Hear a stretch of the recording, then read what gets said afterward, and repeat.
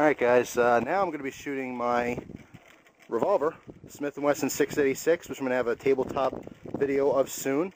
I'm actually shooting some uh, reloads today. Uh, these are some uh, 38 specials with some wad cutters in them.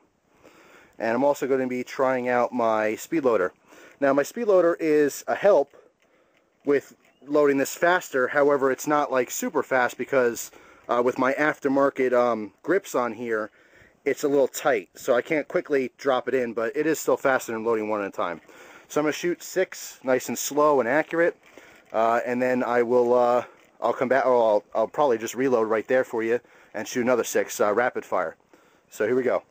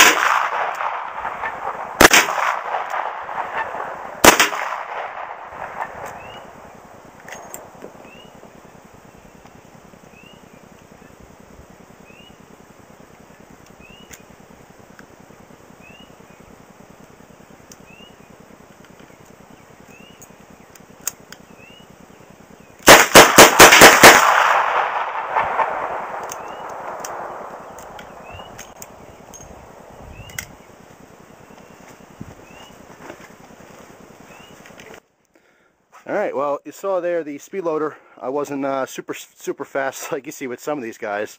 Uh, some of these guys, they load up in like, uh, you know, less than two seconds. Uh, mine, I had to line up a little bit more. Uh, keep in mind, you know, it is new to me. It is harder to load with the, the grip sticking out more than the, the stock one. Uh, also, not to mention, it's harder to line up because I'm using wad cutters, which are, you know, completely flat with the case. as you see, there's a little bit more smoke um, than like a standard 38 special. Uh, kind of cool. These are used a lot in the older west, uh, old Western style guns.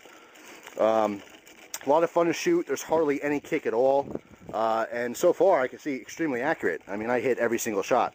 Uh, and I'm shooting, if I turn here, um, I move my tripod. You see I'm shooting that barrel down there.